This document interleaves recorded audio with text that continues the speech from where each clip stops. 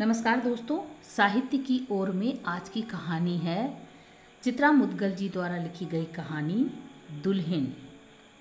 पसीने से नहाए हुए वह जेठ के तपते सन्नाटे को दरवाजे पर छोड़ देहरी लांघने को ही हुआ कि एकाएक ठिठक गया। किसी के तीखे तीखे स्वर करेरे करेरे से खींच रहे सुनाई दिए। लगा कि भीतर मथती उमथाहट, कलेजे समेत बाहर आ जाना चाहती है। लेकिन मुँह तक आते आते पनियाती पलट पड़ती है। कौन हो सकता है? अनी? अनी ही होगी शायद। सुबह कॉलेज के लिए तैयार होते समय उसने भूमिका बांधी थी। लो भुगतो आठ दस दिन ऊपर हो रहे हैं। अविश्वास से भरकर उसने अनी की ओर देखा था।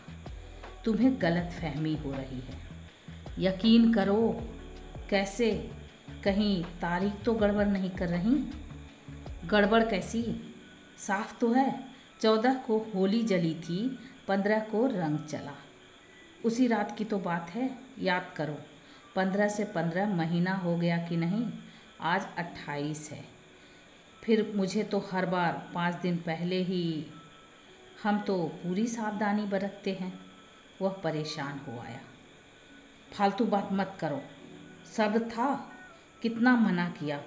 पर माने अपने आप को बहुत बड़ा पहुँचा हुआ जानकार समझते हो। कुछ नहीं होगा।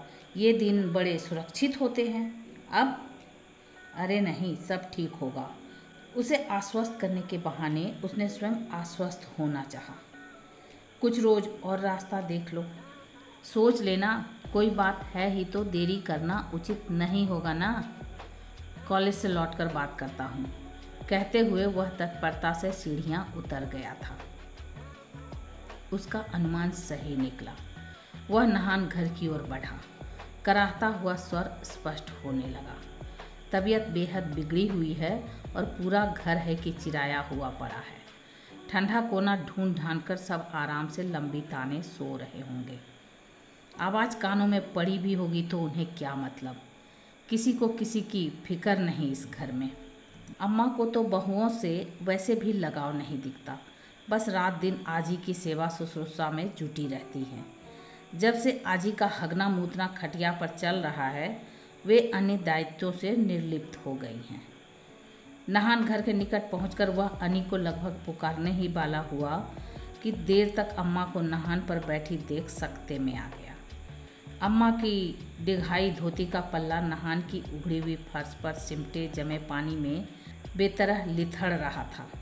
हमेशा घूंघट में छिपे रहने वाले उनके अंगुल भर खिचड़ी बाल, रिबन बंधी चुटिया में गर्दन के नीचे झुकने और फिर उठने की प्रक्रिया में उठ बैठ रहे थे। बेहाल सी वे थूक थूक करती मुँह की पनियाहट थूक रही थी। उसे जैसे बिजली का तार छू गया। वह एकदम से पलटा। दिमाग में द्वंद्व की हाथापाई होने लगी। कहीं दूसरा ख्याल पुख्ता ही नहीं हुआ। हो सकता है अम्मा गर्मी खा गई हो या खाने पीने में गड़बड़ हो गई हो। हैजा भी तो बुरी तरह फैला हुआ है आजकल इस इलाके में। अम्मा का ढाई साल पुराना स्वरूप उसकी आँखों के आगे नाचने लगा। शन्नों का अस्तित्व समेटे उनका पेट डबल रोटी सा फूल आया था। उसे अम्मा चलती हुई नहीं, लुढ़कती हुई महसूस होती। ठमके कदमों ने उनकी बेडौलियत की रही सही कसर भी पूरी कर दी थी। उन पर जब जब निगाह पड़ती, वह शर्म और संकोच से सिकुड़ने लगता। सामने पड़ जाती तो उसकी पूरी कोशिश होती कि वह कन्नी काट कर निकल जाए। वे रोक ही लेती और कुछ कहने को होती तो वह हूँ हाँ करने में भी अजीब दिक्कत महसूस करता। दृष्टि कभी अलगनी पर फैले फड़फड़ाते कपड़ों पर झूलने लगती या खमसारों के प्लास्टर झरे गोल खम्भों से लिपट जाती। उन दोनों के मध्य मौजूदा हालत को लेकर तनाव की शुरुआत की खुल्लम खुल्ला अभिव्यक्ति का वह पहला दिन था। जब पहली मर्तबा उसने अपना विरोध अम्मा पर यूँ ज़ाहिर किया कि तनख्वाह मिलते ही घर के हिस्से की किस्त उसने अनी के हाथों उनके पास भिजवाई। क्रुद्ध अम्मा ने नोट उठाकर अनी के मुँह पर दे मारे। घबराई हुई अनी ने अपनी स्थिति स्पष्ट की थी। उन्होंने दिए, मैंने आपको लाकर दे दिए। मैं बीच में कहाँ आती हूँ? ऊपर बैठे हैं, चलकर बात कर लीजिए। न लेने हो तो उन्हें ही रुपये लौटा दीजिए। लेकिन अम्मा ने उसकी एक ना सुनी। चीख चीख कर पूरा घर सिर पर उठा लिया था। अब कहने सुनने को बाकी ही क्या रह गया है? जूते लगाने भर की कसर रह गई है, सो वह भी छाती जुड़ा ले आकर। अम्मा के व्यवहार से आहत अनी आवेश से कांपती हुई कमरे में घुसी और पलंग पर ढेर हो फूट फूट कर रोने लगी। उसने सारा प्रकरण सुन लिया था। बेवजह ही अनी प्रताड़ित हुई थी। मनाने के लिए आगे बढ़ा तो वह तमक कर हाथ झटकते हुए बोली, छूने की कोशिश की तो अटारी से नीचे कूद जाऊँगी। माँ बेटे के नाटक से मुझे क्या सरोकार? जो कुछ कहना सुनना है, खुद हिम्मत क्यों नहीं करते? मेरी फजीहत क्यों करवाते हो? आगे से मुझे बीच में धकेला तो मुझसे बुरा कोई नहीं होगा। ऊपर अपने कमरे में पहुंचकर देखा, अनी कोहनी आँखों पर रखे चित सो रही थी, दाहनी बाह से शन्नों को बगल में सिमटाए हुए। बदरिया के बच्चे से चिपटी पड़ी अबोध शन्नों की समीज का घेरा और घुंघराले बालों के बेतरतीब छल्ले टेबल फ़ैन की तपती तेज हवा में फड़फड़ा रहे थे। गहरे कत्थई रंग की झालर वाली कच्ची कमर से कुछ नीचे झुकी हुई उसके गोल मटोल वजूद को मासूमियत से सराबोर कर रही थी। जमुना पारिन बड़ी भाभी जब तब ठिठोली करती हैं। कुछ भी कहो लाला यह पेट पोछन, हुबहू गई तो तुम पे ही है। पुतलियों का भूरा रंग तक नहीं छोड़ा। कई बार मन हो आया कि सोती हुई शन्नों की पलकें उठा पुतलियों का रंग देखे। क्या वाकई उसकी पुतलियाँ भूरी हैं? हुबहू उसी सी एक किलकती ललक दुराग्रह को पीछे धकेल उससे विद्रोह कर सिर उठा लेती कि उसकी रिबन बंधी नन्ही नन्ही चुटियों को पकड़कर वह झक छोड़ दे। गालों पर चुटकी भर ले, नहीं हथेलियों पर चिर्रो मिर्रो बुलाकर कांख में गुदगुदा दे। रक्तिम कानों की लबों को जी भरकर चूम ले। लेकिन पता नहीं क्यों अचानक शन्नो शून्य में परिवर्तित हो जाती और उसकी लालसा को सहसा अम्मा का डबल रोटी सा फूला पेट ढक लेता। शन्नो की ओर बढ़े हुए हाथ उसे छूने से पहले ही ठिठक जाते।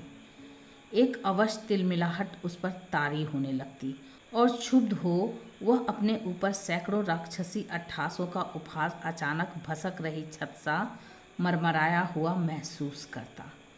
उसे लगता कि कभी आवेश आवेशवश हाथ सन्नों की ओर बढ़ ही गए तो उंगलियों में नन्ही देह की दुधाई सुगंध नहीं, एक जहरीली लिसलिसाहट चिपक जाएगी, जो धीरे धीरे उसकी पूरी देह को कुकुर खास से भर देगी। छह भाई बहनों में वह सबसे छोटा था। अब नहीं रहा। शन्नू ने उसे इस एकाधिकार से वंचित कर दिया। उसे अच्छी तरह याद है, वह आठ एक साल का रहा होगा, जब काकी को पुष्पा हुई थी। बचपन की धुन्नू सौर के मुहारे खड़े खड़े वह उस गोल मटोल गुड़िया को चार पाँच रोज अकसर गौर से लगातार देखता रहा था और उसे गोद में खिलाने को व्यग्र हो उठा था। सभी ने उसे डरा धमका रखा था कि ना तो वह सौर के भीतर ही घुसे और ना ही बच्चे को छुए। किंतु एक दोपहर जब सभी अपने अपने ठौर ठिकाने पड़े सुस्ता रहे थे और धुन्नू को बगल में लिटाए काकी भी झपकियाँ भर रही थी वह पट से सौर में घुस गया और बंदर की भांति धुन्नू को गोद में उठा दुछत्ती में जा छिपा। धुन्नू न रोती तो वह बड़ी देर तक उसकी चुम्मियाँ लेता रहता और उसके छोटे छोटे रुई के फाहों से नरम गुलाबी पैरों को अपने गालों से रगड़ता रहता। पकड़े जाने पर बड़ी बुआ ने धुन्नू को उसकी गोद से छीन, उसकी हिमाकत पर बेरहमी से तड़ातड़ गाल चटका दिए थे। अम्मा ने आगे बढ़कर उसे छुड़ा लिया था। बड़ी देर तक वह उनसे लिपटा हिचकियाँ भरता रहा। उसकी समझ में नहीं आया कि यह कौन सी रीत है कि एक बच्चा सामने लेटा हुआ है और उसे छुआ नहीं जा सकता, खिलाया नहीं जा सकता। उसने अम्मा से सवाल किया था, काकी बचिया कहाँ से लाई बाज़ार से खरीद कर तो तुम भी मुझे एक धुन्नू खरीद दो। मैं काकी की धुन्नू को कभी हाथ नहीं लगाऊँगा। उसने रोश से भर कर कहा ठीक है, ला दूँगी। ज़रा पैसे जोड़ लूँ, खूब लगते हैं। अम्मा ने उसे बहलाया। मगर कुछ ही दिनों बाद वह अपनी जिद भूलकर मस्त हो गया। फिर धुन्नू शौर से बाहर आ गई और उसे न छूने की सारी वर्जनाएँ टूट गईं। वर्षों बाद जब नितांत अपनी धुन्नु की कामना का बाल सुलभ हट वास्तविकता में अंकुरित होने लगा तो इस उम्र में छोटी बहन पाने की कल्पना मात्र से वह लज्जित हो उठा। सबसे बड़ी जिज्जी चार बच्चों की माँ थी, जो अपनी बड़ी बेटी रंजना के हाथ चार साल पहले पीले कर चुकी थी। रंजना से छोटे उमेश की शादी उसी साल हुई, जिस साल उसका तिलक चढ़ा। तभी जिज्जी उसके ब्याह में नहीं आ पाई। बड़े और मंझले भैया के बच्चे कॉलेज जाने लगे। गीता और सुषमा क्रमशः एक और दो बच्चों की माएँ बन गई। खुद उसकी शादी का चौथा साल चल रहा है। बच्चे नहीं हुए तो सिर्फ़ इसी वजह से कि उसने और अनी ने फ़िलहाल चाहे नहीं। शादी की पहली रात को ही उन्होंने तय कर डाला कि जब तक वह अपनी थीसिस पूरी कर दाखिल नहीं कर देता और किसी डिग्री कॉलेज के प्राध्यापक नहीं बन जाता, वे संतान के विषय में कतई नहीं सोचेंगे। भूले भटके कहीं कुछ गड़बड़ हो ही गई तो सफ़ाई करवा लेंगे। आगे नहीं हुए तो अनी ने संशय प्रकट किया। अनाथालय से गोद ले लेंगे। तब अनी केवल मैट्रिक पास थी और वह उसे आगे पढ़ाने का इच्छुक था। शादी के बाद उसने फ़र्स्ट ईयर की परीक्षा में अनी को प्राइवेट कैंडिडेट के रूप में बिठवाया। पढ़ने में भी उसकी भरसक सहायता की। नतीजतन सारी घरेलू अड़चनों और बंधनों के बावजूद वह पास हो गई। फिर तो वह उत्साह से भर गई और स्वयं परिश्रम करने पर उतर आई। कस्बई सपनों के दायरों में महासागर का विस्तार जड़ें जमाने लगा। इंटर भी हो गया, अब बीए की तैयारी हो रही है। एक अम्मा है, न कुछ सोचना चाहती हैं, न समझना। दकियानूस बच्चा पैदा करने की मशीन। दूसरों की भावनाओं की कद्र करना उन्हें आता ही नहीं। ऊपर से फूहर ठिठोलियों में रस लेती और आनंदित होती उनके भीतर की बेलिहाज, बेशर्म स्त्री। सामने जवान बेटा खटिया पर बैठा हो तब भी संकोच न करना। कोई लिहाज करती तो नाउन काकी को न झिड़क देती, आजी को न इशारा कर देती। वे आँगन में दुबके सर्दियों के दिन थे। मांसपिंड के रूप में आकार लेती शन्नों के दिन। गुनगुना घाम था। खटिया पर आराम से वह शोध से संबंधित संदर्भ पुस्तक पढ़ने में लीन घाम सेक रहा था कि सहसा नाउन काकी की पारखी चूहल ने उसकी तन्मयता भंग की। अई दुल्हन तुम कुछ है का? नाउन काकी ने बड़े फूहड़ तरीके से अनी के पेट पर हाथ फिराते हुए सप्रश्न उसे देखा। प्रत्युत्तर में शर्म से दोहरी होती हुई अनी बगैर जवाब दिए ही भीतर भाग ली। इस अशालीन चूहलबाजी के चलते उसके कान तब आए। नज़रों को ज़बरदस्ती किताब में अटकाए रखना मुश्किल महसूस हुआ, परंतु एकाएक उठ भी नहीं पाया। घाम सेकना बड़ा भला लग रहा था। तभी नाउन काकी का दूसरा जुमला उसे चौंकाता पहाड़ से नीचे धकेल गया। बधाई हो जिया, सास बहुरिया का जापा एक सौर में निपटी जाई। फिर उसकी ओर कटाक्ष कर हँसी।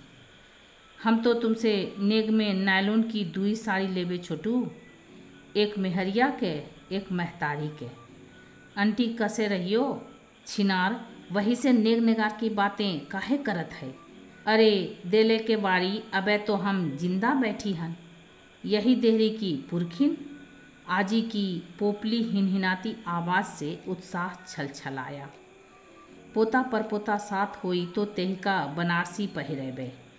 एक बात बता भिखवा के महतारी, छोटू की बहुरिया के सच्ची कुछो है का? जवाब अम्मा ने दिया। पटरे पर बैठी हुए कद्दू कस पर घिया कस रही थी। मोरी नाउन काकी के बातें, कुछ नहीं है वह के, और आँखें मिचकाकर हंसने लगी थी।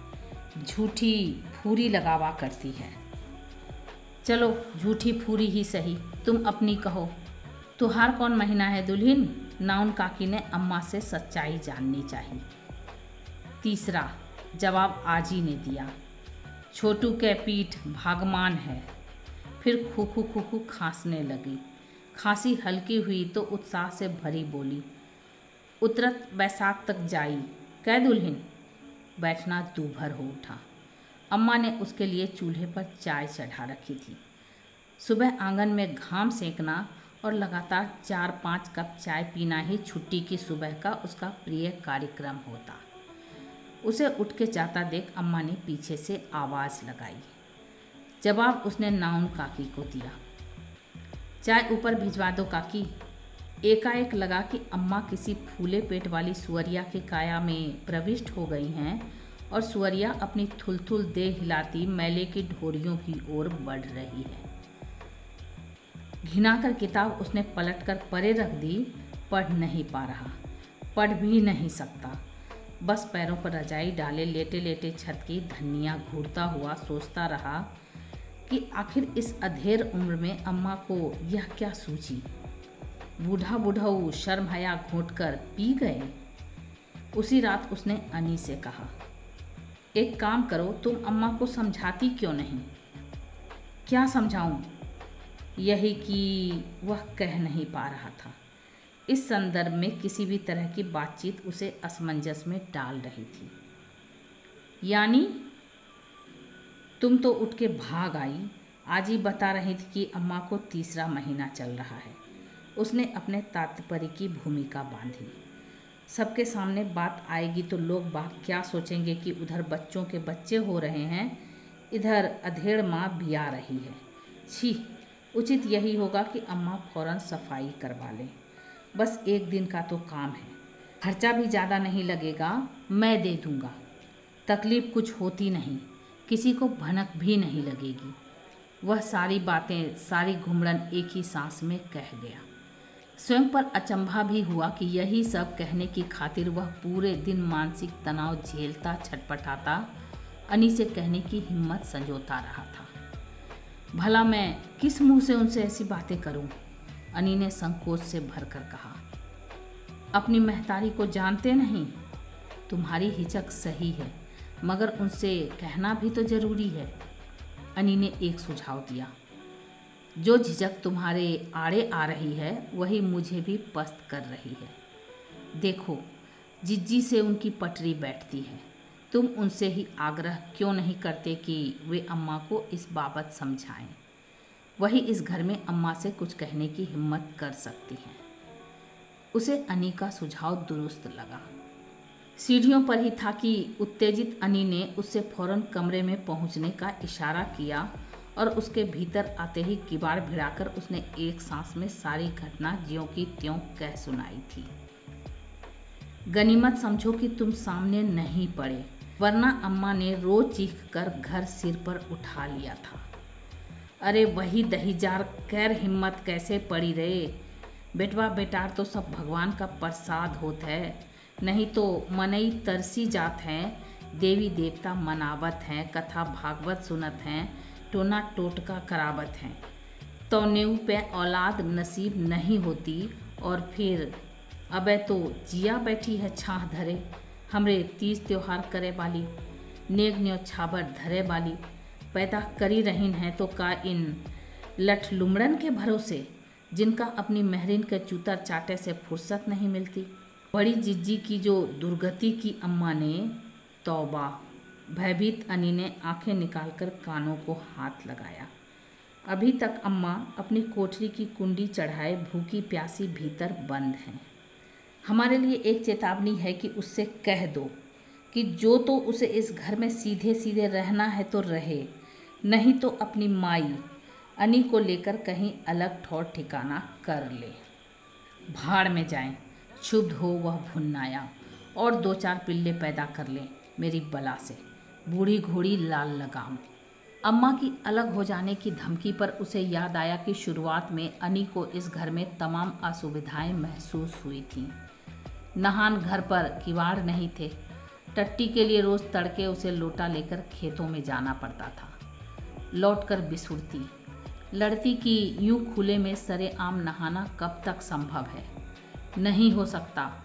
निरुपाय दरवाजे की आड़ बनाने के लिए वह एक भारी भरकम खटिया खड़ी कर खुले हिस्से को ढक देती और उस पर चादर या धोती पसार देती ताकि निसंकोच होकर नहा सके।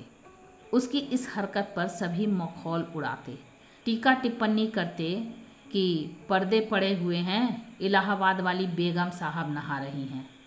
एकाध बार उसकी परेशानियों में खुद को रखकर सोचा तो वे उसे वाजिब भी लगीं और यह भी लगा कि पति होने के नाते अनी की तकलीफ़ें नज़रअंदाज करना गैर जिम्मेदाराना हरकत होगी। मगर सभी तो उन्हीं परिस्थितियों में रहकर गुजर कर रहे हैं। इस तर्क ने उसे सदैव संयत रखा। यूँ तो वह भगवंत नगर में अपने कॉलेज के आसपास एक या दो कमरे का अच्छा मकान कभी भी ले सकता है और आने जाने की लंबी भागा दौड़ी से भी बच सकता है। मगर इन कारणों और सुविधाओं के चलते अम्मा से अलग होने की कल्पना भी उसे असह्य प्रतीत होती। यही सोचता कि जब तक कोई अन्य बाध्यता उत्पन्न नहीं होती, वह अम्मा के पास रह ले। विश्वविद्यालय में पहुँचने की जद्दोजहद तो जारी ही है वहाँ नियुक्ति होते ही बाहर रहना उसकी मजबूरी हो जाएगी। तब ये तकलीफ़ें खुद ही खत्म हो जाएँगी। बाद में कोई अशिष्ट कदम न उठाकर उसने इतना ही किया कि घर के माहौल से कन्नी काट स्वयं को अटारी वाले कमरे तक सीमित कर लिया। शन्नो पैदा हुई, उसे पता भर चला। अम्मा अस्वस्थ हुई, भरतीपुर के डॉक्टर सिंह उन्हें देखने आए। अम्मा ठीक हो चली वह शोध के सिलसिले को लेकर अधिक व्यस्त बना रहा। अनी शन्नो को कभी कभार कमरे में साधिकार ले आती, बावजूद उसकी अनिच्छा के। मगर क्लेश से बचने के लिए वह उदासीनता ओढ़े रहता। वैसे भी जब वह पढ़ रहा होता या लिखने लिखाने में व्यस्त होता अनी शन्नो को कदापि ऊपर न लाती। दरअसल वह अनी को शन्नो से कुछ अधिक ही जुड़ता हुआ महसूस कर रहा था। लेकिन इस वात्सल्य गठबंधन के निरंतर सुदृढ़ होते जाने के पीछे, वह अपनी व्यस्तता को ही कारण मानता। ऐसा मानने से ही उसे तसल्ली मिलती। हालाँकि कई दफ़े वह अपने आप से तर्क वितर्क करता कि आखिर वह अपनी कुढ़न सन्नों पर क्यों निकालता है। उस मासूम का भला क्या दोष? मगर पता नहीं क्यों, वह अब तक उस अनिश्चित स्थिति से उबर नहीं पाया। शन्नों को देखते ही उसके दिमाग की नसें तमतमाने लगती। उसे लगता कि उसका पूरा घर अनपढ़ गंवारों, उज्जड्डों, कमीनों और अविवेकियों का अड्डा है, जिसमें उसके जैसे शिक्षित का कोई स्थान नहीं। याद हुआई, सहकर्मी शर्मा की शन्नों के जन्म पर दी गई बधाई। कोशिश करके भी वह अपने गुस्से पर नियंत्रण नहीं रख पाया था। शर्मा का फूहड़ मज़ाक उसे भीतर तक छलनी कर गया। यार मान गए तेरे दद्दा को। हमें तो इस उम्र में जड़ी बूटी लेनी पड़ेगी, पर सच्ची बताना, यार मज़ा आ जाता होगा, नहीं? ऊपर तुम लोग लगे रहते होगे और नीचे बूढ़ा बूढ़ाऊ तुम छिछोरे, उसने आवेश से कांपते हुए शर्मा का कॉलर दबोच लिया, दांत किटकिटाकर अभद्र हो बोला। पूछ देख तेरे अम्मा पप्पा कोई जड़ी बूटी लेते हैं कि नहीं? उसी क्षण उसे आभास हुआ कि वह मानसिक रूप से बदमिजाज, अशिष्ट और अधीर हो उठा है। वह अंदरूनी तौर पर बीमार है और ऊपरी तौर पर ठहरा संयत। दोनों ही स्थितियाँ असहज और खतरनाक हैं। यह सही है कि निजी तौर पर वह बड़ा अनुशासनबद्ध दिखता है, लेकिन भीतर ही भीतर अंतर्द्वंद में उलझा सोचता रहता कि आखिर घर में तो और भी लोग हैं। उन्हें इस घटना ने किसी भी रूप में क्यों नहीं कचोटा? क्यों वे इस प्रकरण को लेकर अटपटा महसूस नहीं करते? अब तो वह घर में अपने आप को इतना गैर और अनुपयुक्त अनुभव करने लगा है कि कभी कभी उसे लगता है कि वह वहाँ बना हुआ क्यों है। शायद अब भी वह सारी खिन्नता और असहमति के बावजूद अम्मा से कट नहीं पाया। भले ही वह अरसे से अम्मा से नहीं बोलता चालता मगर अनी से वह उनके विषय में ज़रूर पूछता पाछता रहता है। सीधे सीधे वह भी नहीं घुमा फिरा कर वह पहले आजी की तबीयत के बारे में पूछता, फिर दद्दा की, फिर बड़े भैया की, फिर गुड्डी, किन्नी, हरीश, काकी, भाभी की। इन्हीं रिश्तों को फलांगते हुए वह आहिस्ता से अम्मा पर आ जाता। अब भी कॉलेज से लौटकर वह सीधा ऊपर जाने लगता तो यह ख्याल उसे उदास कर देता कि पहले वह नीचे आँगन में ठहरता था। अम्मा से सिर्फ़ उन्हीं के हाथों की चाय पीता। वे कभी किसी काम में उलझी हुई होती और किसी बहू या लड़की को आदेश दे देती कि चाय का पानी चूल्हे पर चढ़ा दे तो वह बिगड़ उठता। ज़ोर शोर से ऐलान कर देता कि वह उस चाय को कतई हाथ नहीं लगाएगा। अनी अक्सर उसके अम्माश पने का उपहास उड़ाती। खिंचाई करती कि अब तक वह पछड़े सा अपनी अम्मा के थन में मुँह मारने को ललकता रहता है। बरसों हो गए। झोल वाली उनकी खटिया में उनसे सट कर लेटे। उनके थुलथुल पेट में मुँह से बुड़बुड़ किए चौके में खाना खाए। उनसे पैसे मांगे। कैसे झटक देती। जा, अपनी मेहरिया से ले। कारू का खजाना गड़ा है हमरे लगे। दिल का कितना मज़बूत हो गया है वह। मज़बूत या ढीठ ही शायद। आज नहान घर के भीतर अम्मा हाल बेहाल जिस तरह उकला रही थी, पिछले दिन होते तो वह चिंतित सा पलट पड़ता। दौड़कर उनके कंधे पकड़ लेता। पानी से लोटा भर कुल्ला करवाता पोछता और माथे से सरक गया पल्ला खींच देता। गोद में भरकर उठा लाता। खटिया पर लिटा देता। ऊपर से टेबल फ़ैन नीचे मंगवाकर ठीक उनके सामने रखवा देता। प्यास महसूस हुई। उठा, तुराही के मुँह से गिलास में पानी उड़ेलने लगा। पानी की कुलकुल से अनी की नींद उचटी तो वह उठ बैठी। अरे, कब आए? खुले हुए बालों को हाथों से मड़ोड़कर जूड़े में बांधते हुए उसने पूछा। घंटा भर हो गया। जगाया क्यों नहीं? पलंग से नीचे उतरकर साड़ी की प्लीट्स ठीक करती हुई वह बुदबुदाई। पता नहीं आजकल क्या हो गया है। ऐसी बेहोशी की नींद आती है। क्या लोगे? चाय पिलवाओ तो तुम्हें एक बढ़िया समाचार दूँ। पहले ही बता दो वह ठुनकी बैठकर बात करते हैं। चाय ले आओ। अनी सिर पर पल्ला लेती हुई नीचे उतर गई। दिमाग में अम्मा वाला प्रसंग कौधा अनी से पूछ, शंका निवारण कर ले कि कहीं सचमुच शन्नों वाली स्थिति की पुनरावृत्ति तो नहीं हो रही। फिर लगा, पूछकर क्या होगा? जो होना होगा, उसे वह बदल नहीं सकता। पहले ही कौन बदल पाया? आज मूड कुछ हल्का है, प्रसन्न भी। हालाँकि सुबह अनी ने जिस गड़बड़ का संकेत दिया था, उसे ले वह दोपहर तक चिंतित रहा। फिर इस निश्चय पर पहुँचा कि गड़बड़ अगर हो ही गई है तो सफ़ाई आदि के चक्कर में नहीं पड़ेगा। यह निर्णय सहजता से शायद इसी कारण ले पाया कि डॉक्टर मजूमदार का पत्र उसे दोपहर से पहले ही कॉलेज में मिल गया था। पत्र में उन्होंने सूचित किया कि अगले सत्र में डीएवी कॉलेज में उसकी नियुक्ति निश्चित है। हालाँकि यह उनका पिछले दो वर्षों से दिया जा रहा आश्वासन है, मगर अब की उन्होंने निर्णयात्मक सूचना दी है। शोध भी उसने उन्हीं के निर्देशन में पूरा किया। अगले हफ़्ते उन्होंने उसे कानपुर बुलाया है। मामूली औपचारिकताओं की खाना पूर्ति हेतु। इस महीने के अंत तक वह अपनी थीसिस भी दाखिल कर देगा। टंकण का काम लगभग पूरा हो चला है। डॉक्टर साहब ने उसकी मेहनत के लिए उसे बधाई और शुभकामनाएँ भी दी हैं। और सचमुच, यह पत्र पाकर वह बेहद खुश हुआ है। मन ही मन सोचता रहा है, यहाँ से निकल जाए तो अच्छा है। अब मौका स्वतः ही हाथ लग गया। कानपुर सतीश से कह भी आएगा, अपने आसपास दो तीन कमरों का एक अच्छा सा मकान निगाह में रखे। मित्र की पत्नी का साथ मिलेगा तो अनी को अकेला नहीं लगेगा। अनी सुनकर खुशी से चौंकेगी। इस सोच ने उसे रोमांचित किया।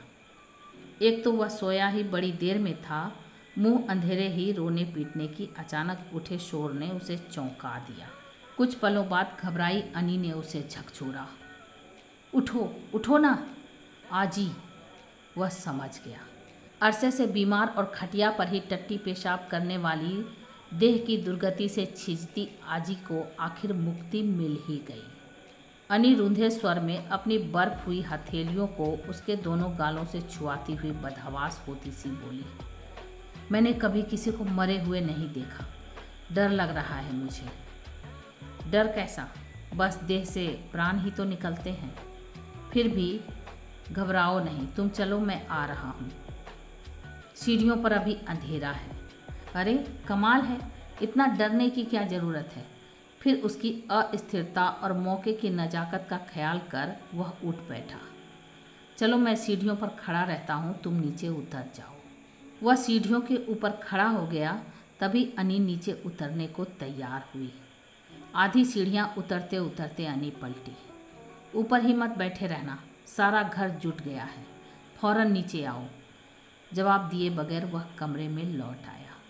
आजी को देखकर वह अक्सर उनके कष्ट का अनुमान लगा, सोचता कि इस घिसट घिसट के जीने से तो बेहतर है कि वह जितनी जल्दी हो, कूच कर जाए। हालाँकि डॉक्टरों ने सलाह दी थी कि उन्हें इलाज के लिए जिला अस्पताल में रखना ज़्यादा उचित होगा अम्मा उन्हें अस्पताल में रखने के विरुद्ध थीं। अम्मा को लग रहा था कि एक तो आज ही लगातार अस्पताल में रह नहीं पाएँगी और उनके बगैर उनकी उचित देखभाल संभव नहीं। आजी की बदतर हालत के बावजूद बिना पस्त हुए और घिनाए अम्मा दिन भर उनका गोमूत उठाती रहती। उनकी खैरियत के गंडे ताबीज बनवाती रहती। और आजी उनकी अभिलाषाओं का भी कहाँ कोई अंत था। छोटी का ब्याह देख लें तो मरे। उसकी शादी इसलिए जल्दी हो गई। नन्हे मंझले भैया को बेटा हो जाए तो मरे। सावित्री, बड़ी बेटी को बड़ी मानता के बाद इकलौता पोता हुआ है। उसका मुंडन अपने महादेवन के चौरे पर करवा लें तो मरे। घुन्नू का जापा देख लें तो मरे। अनी की गोद अभी छूछी है। कुछ हो जाए तो मरे। और अब तो उन्हें शन्नो के ब्याह की दुश्चिंता भी घेरने लगी थी। उसका ब्याह अपने सामने कर लेती तो मरती। उनकी दुलारी बहू अम्मा पेट से है।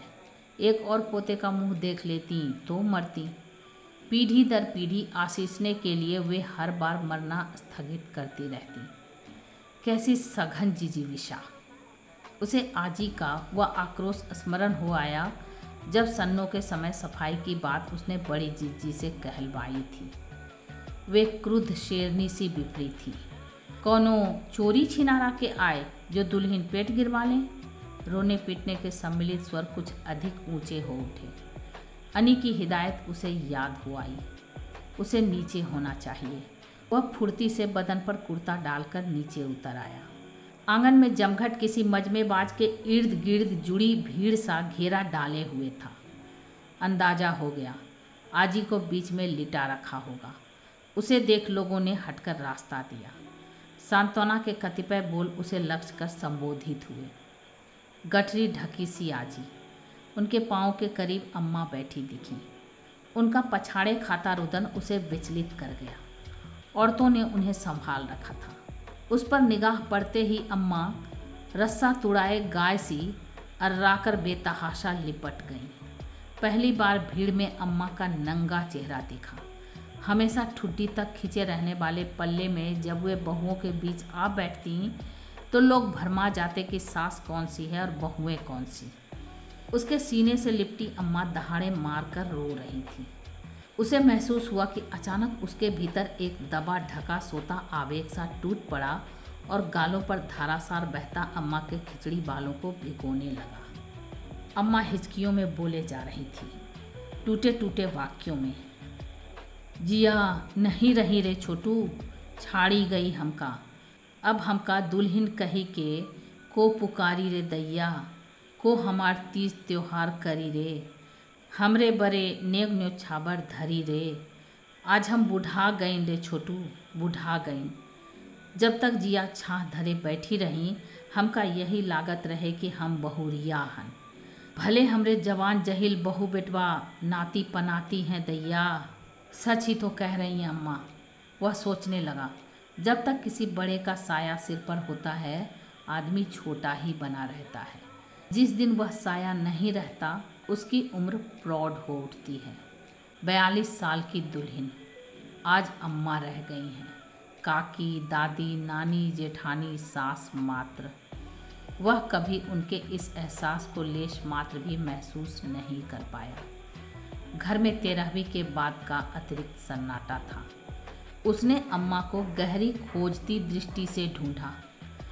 अम्मा कहीं दिखाई नहीं दी। नियुक्ति पत्र की खुशी सबसे पहले वह उनसे बांटना चाह रहा था। और शायद वर्षों परांत वह कॉलेज से लौटकर सीधा अपने कमरे में ना जाकर आँगन में खड़ा हुआ था। ऊपर पहुँचा तो छूटते ही अम्मा के विषय में पूछे बिना न रह सका। अम्मा, नहीं है घर पर? शन्नों की बित्ते भर की चुटिया पर रिबन का कुंदा बनाती हुई अनी बोली, अम्मा तो कानपुर चली गई हैं, दोपहर वाली बस से। कानपुर? क्यों? एकाएक सूचना चौंकाने वाली थी। अम्मा कहीं निकलती जो नहीं। अनी ने शन्नो को जा नीचे खेला कि हिदायत देकर बाहर भेज दिया।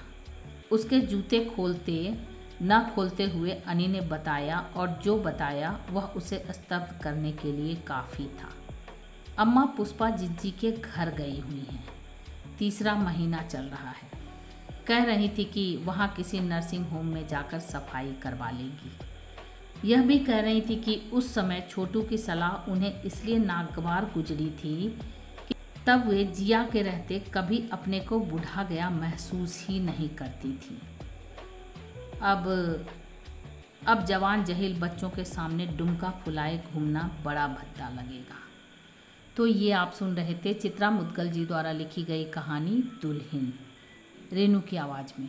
ऐसी अद्भुत कहानियों को सुनने के लिए मेरे चैनल को सब्सक्राइब करें, लाइक करें और शेयर करें। और हाँ कमेंट करके ज़रूर बताएँ कि आपको ये कहानी कैसी लगी। Thank you.